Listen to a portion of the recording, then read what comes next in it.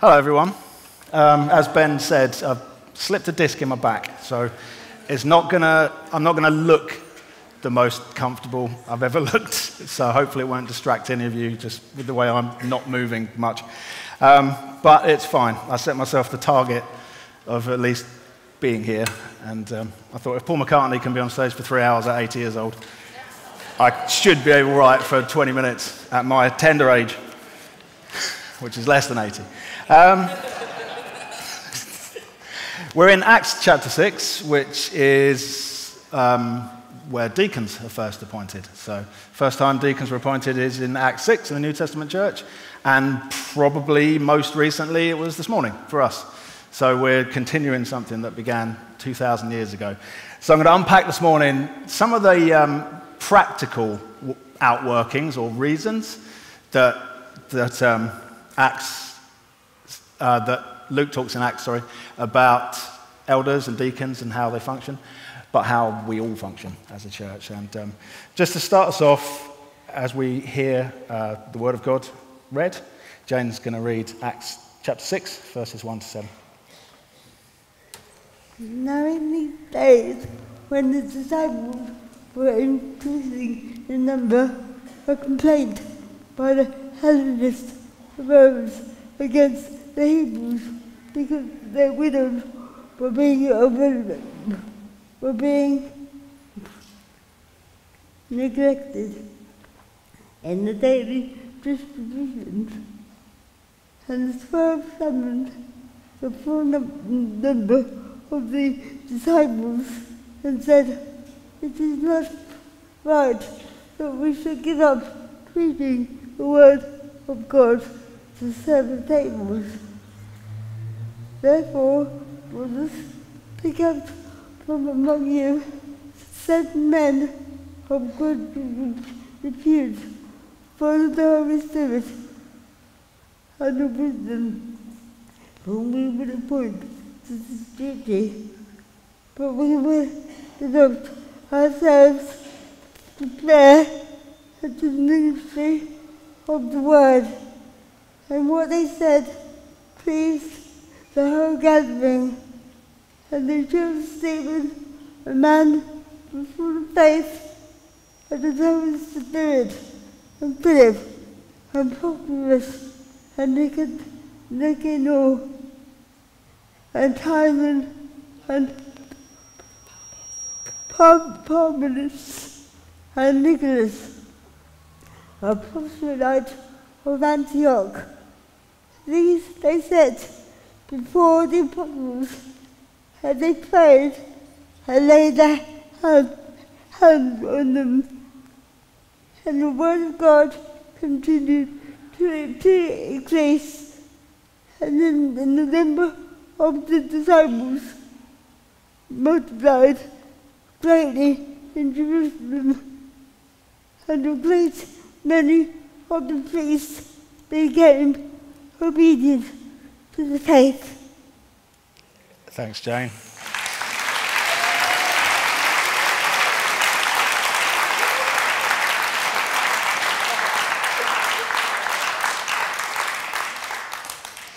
Yeah, that's the, the second time that I've asked Jane, sorry, um, to preach uh, to read.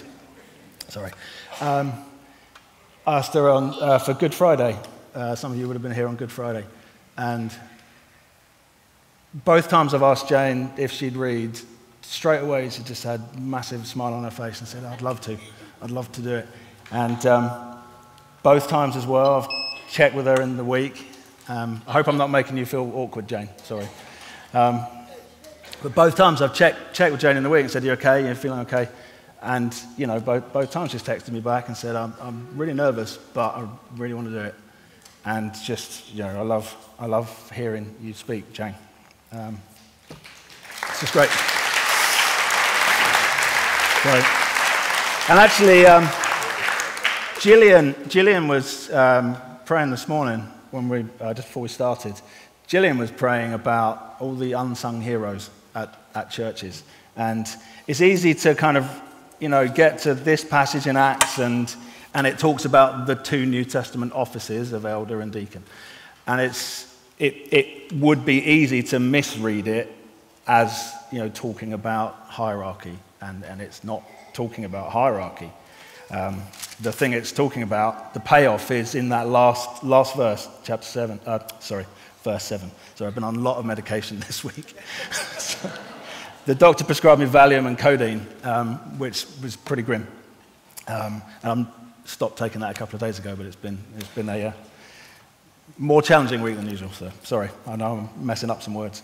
Um, the last verse there, verse 7, that's the payoff of this, of this part of Acts, where it says, And the word of God continued to increase, and the number of the disciples multiplied greatly in Jerusalem and a great many of the priests became obedient to the faith.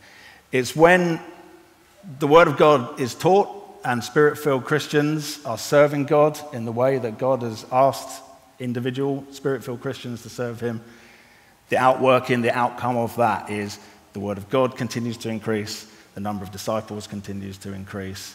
And the huge last thing there at the end of this chapter, or at the end of this part of the chapter, a great many of the priests became obedient to the faith.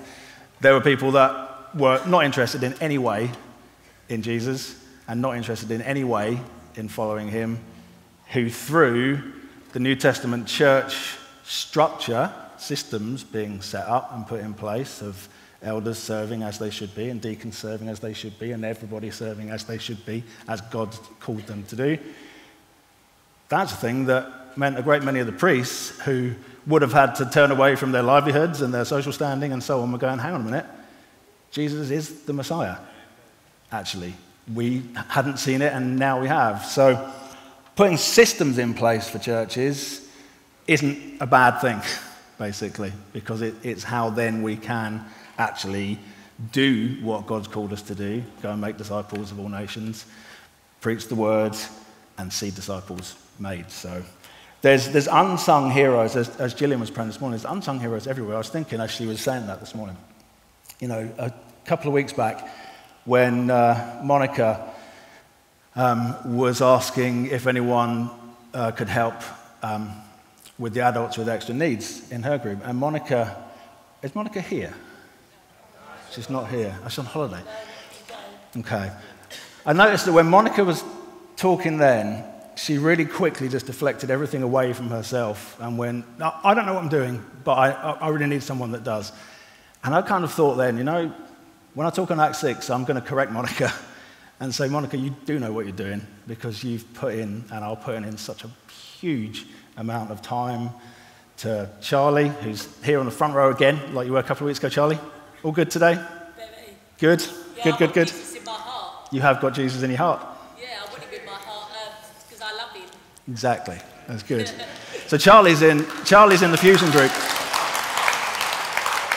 Charlie's in the fusion group that Monica runs, and Monica really quickly deflected everything away from herself, which, which I know why she did it, but the way that she serves unsung and unseen a lot of the time is just amazing. There's just unsung servants everywhere, which, which is just inc- incredible to see. And actually, I was sat next to Charlie a couple of weeks back uh, when Clive was preaching. And I've never seen someone hang on every word of a preach like I watched Charlie do that day. He's not doing it today.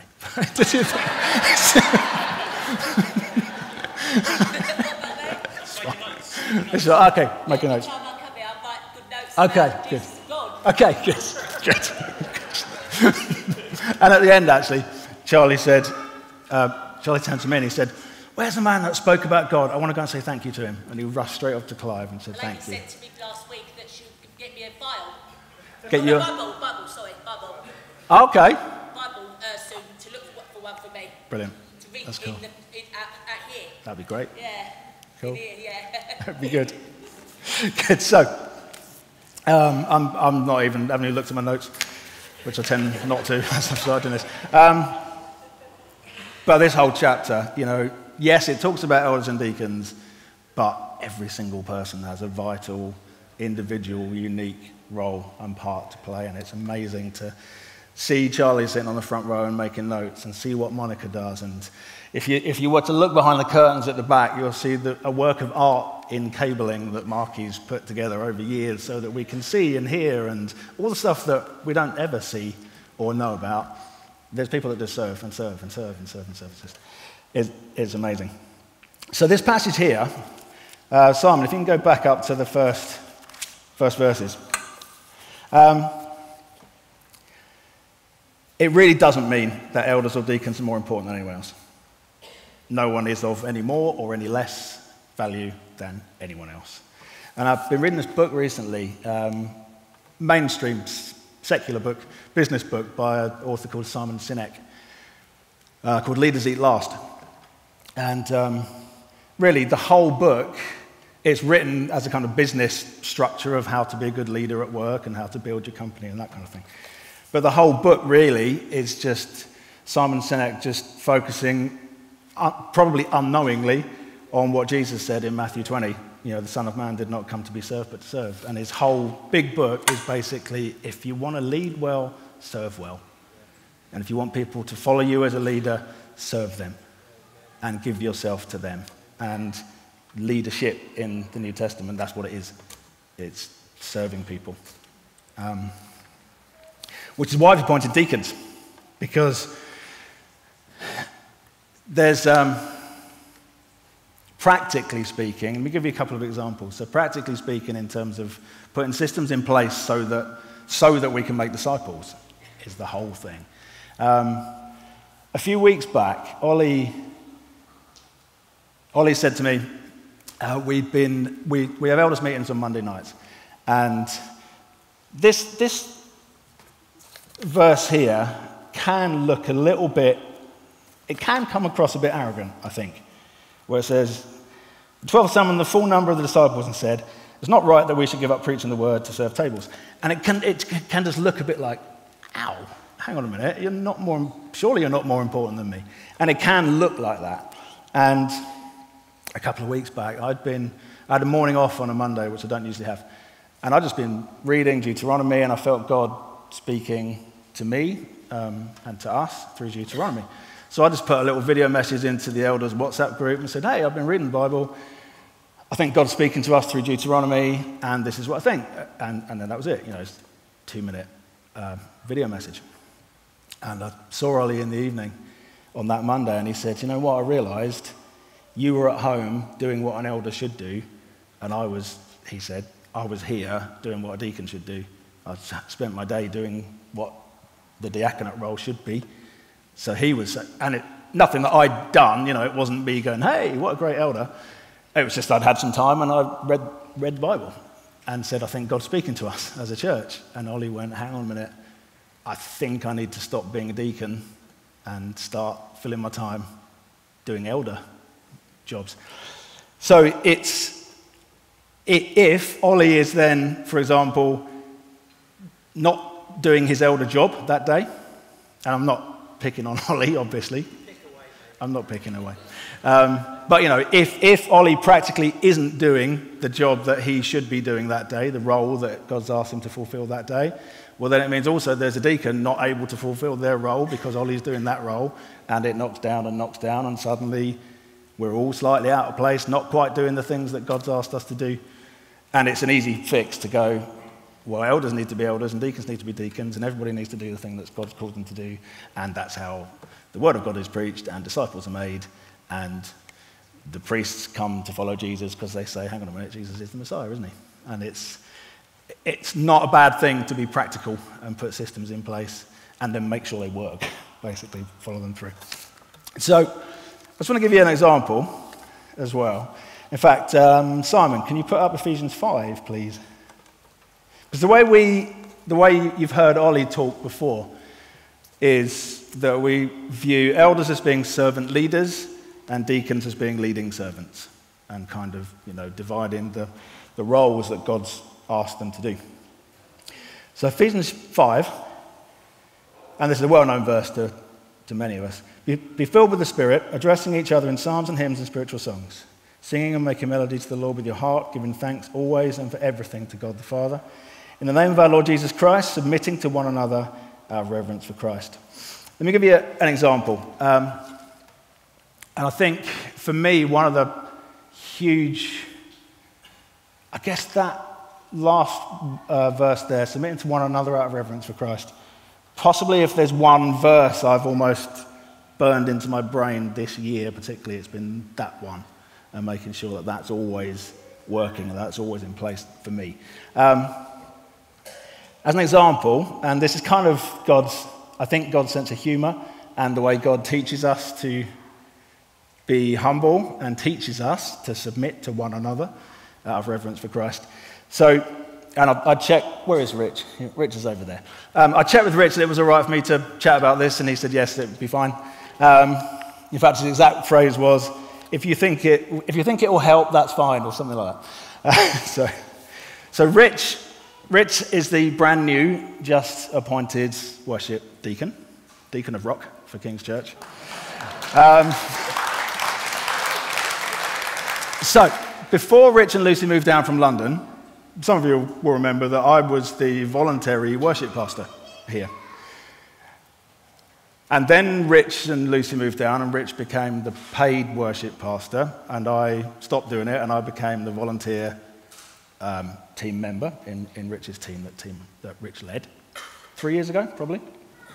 Um, and then about a year ago, I, I became employed here one day a week, um, officially as creative team leader, which then put me overseeing Rich and the team that he oversees, which I was or am still part of as well. So I'm in Rich's team that he leads, and my job is to oversee Rich and the team that he leads, part of which I'm a member of, and so on. And then a few months ago, obviously, I became an elder, and today Rich was appointed as deacon. And it's possible that that kind of thing may not work. I'm just going to suggest, as, as, an example, but possibly. Um, and uh, so, why does it work? And it really does. It really does. And it's fine for me to submit entirely to Rich as a member of his team that he's got authority to lead, and he's been appointed, laid hands on, and before God, Rich leads the worship team.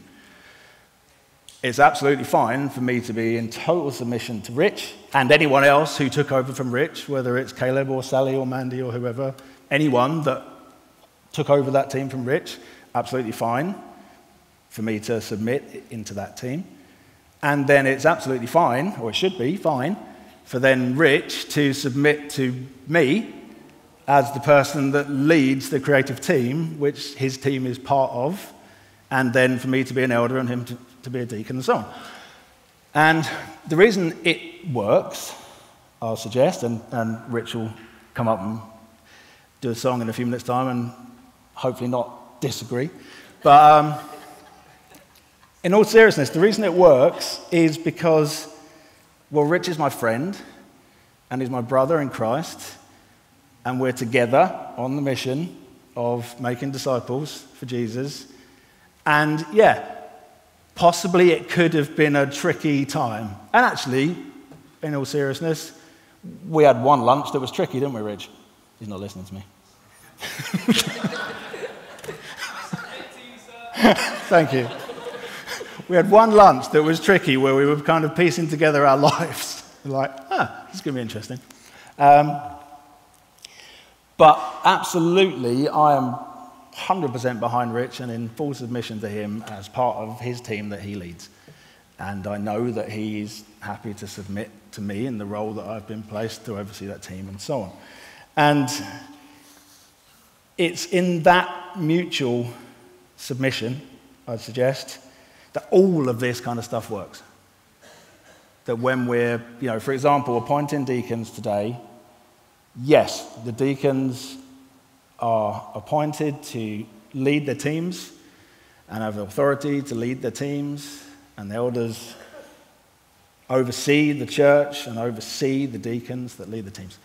And deacons that are here today, you know that you've been appointed because you've been chosen by God through the Holy Spirit for this season to lead and be deacons overseeing your areas. And you're already doing that. Um, but, deacons, I just want to say to all of you, you know, love your teams. Lucy brought the word, you know, or backing up, you know, what Dom had said about love. Deacons, if you love your teams, they will want to submit to you. And, you know, whenever submission is talked about in the New Testament, you know, it's not, submission should never be the result of domination. You're beaten into submission, so you have to submit. It should never be that. And actually, if ever, if ever I got the elder card out of my back pocket and went, Rich, elder beats deacon, then I've completely and utterly abused the office that I've been asked to stand in, basically. And it should never, ever, and by the grace of God, won't ever happen. Um, but mutual submission can and does and should. So, deacons, love your teams and make it easy for them to submit to you. Because if it's easy to submit to you, they'll be able to do it joyfully. You know, when the New Testament talks about submission, it's always on the part of the person submitting that does the submitting. And that kind of might sound obvious, but it's always the person that should submit, which the Bible says, submit yourself. You submit. So the people that you're submitting to, they need to make it easy for you to submit to them. And they, they need to make it a joy for you to submit to them. And they need to make it fun to be part of this church, submitting to them. And if we get that right, then there's a whole world out there to make disciples of and teach about the truth and teach the truth too. Um, and actually, I just want to say as well for anyone that isn't part of a deacon's team, um, and many people are. But each week in the past month or so, we've kind of banged the drum of we need more volunteers, we need more volunteers. But it's true, basically. So on Tuesdays in the meetings that I'm in on a Tuesday here, often when we have kind of debriefs of, you know, what worked, what didn't, and what departments are going well and what ones aren't going so well, pretty much without fail, anything that isn't working so well, the answer is, well, what, what's up then? And the answer is, there's not enough people. We just need people to serving. So, can I lovingly challenge all of us if, if you aren't serving and are able to, or if you are serving and are able to serve more, then please do, because right across the board, we need more people serving. We really do. Um, but don't be guilted into it by me. at all. Don't make it a guilt trip. Um, make it something that's a joy for you. Make it something that you can get involved in a team and you're joyfully submitting to the person that leads that team, and they'll be joyfully overseeing you and helping you to flourish, with the whole point being, as we started with after Jane read, the Word of God continues to increase, the number of the disciples multiplies greatly and a great many priests became obedient to the faith. If we get this stuff right in terms of the system, then the church should flourish. That's what happens. That's what the New Testament church did. Um, so if we're all getting up every morning and going, you know what, today I'm going to love the Lord God, Lord my God, with all my heart, my soul, my strength, and my spirit, and I'm going to serve the people around me and love my neighbor. Well, if that's the thing that we all get out of bed and do all day, that'll be a good life lived by the time we get to the end of it. Rich, do you want to grab your team and come back? And I've been a little bit, like, like my brain's all over the place actually medication and stuff, but um, I just want to finish with this quote that I read this week from D.L. Moody. And really, the whole thing, the whole thing is summed up, as Lucy said earlier, in love. You know, let's love God with all our heart, soul, mind, and strength. Let's love each other Let's serve each other. Let's submit joyfully and freely and willingly to one another. Let's build each other up. Let's celebrate the way we're serving. Let's thank each other for the way that we're serving. And let me just read this quote from D.L. Moody, 19th century preacher. He said this If we are co workers with God, there's one thing we must possess, and that is love. One may be a very successful lawyer and have no love for their clients, and yet get on very well. One may be a very successful physician and have no love for their patients, and yet be a very good physician. But no one can be a worker with God without love. We cannot work for God without love.